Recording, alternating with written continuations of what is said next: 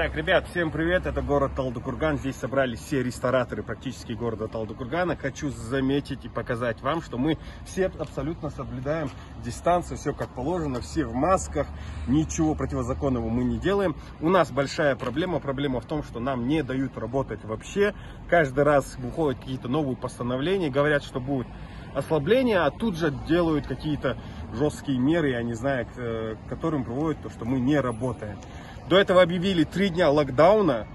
А, на понедельник многие рестораторы просто взяли, закупились продуктов, и в этот же момент нам сказали, что мы не будем работать до 17 числа.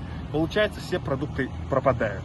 То есть проблем много, и нас не предупреждают. Нам а, постановление лично никогда никому, ни одному ресторатору не приносили. Нам все скидывали через WhatsApp или э, через Instagram. Вот объясните мне, с каких пор именно Instagram и WhatsApp стал такой организацией серьезной, где через что или как там будет правильно?